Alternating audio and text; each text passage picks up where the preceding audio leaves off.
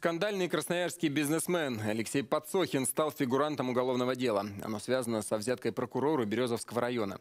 Об этом предприниматель сам рассказал на странице в Инстаграм. По словам Подсохина, его подозревают в даче взятки прокурору Березовского района Бекхану Аслаханову. На видео предприниматель демонстрирует материалы уголовного дела. Судя по тексту документов, Алексей Подсохин через посредника передал Аслаханову 500 тысяч рублей за общее покровительство.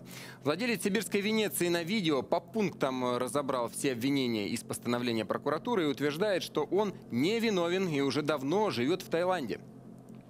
Я не был три года в России. Смысла давать мне 300 тысяч рублей прокурору никакого нету, не было и тому подобное. Это вообще выдуманное все от начала до конца. Я его ни разу в жизни не видел. Мы ни разу с ним не разговаривали. Мы не знакомы вообще.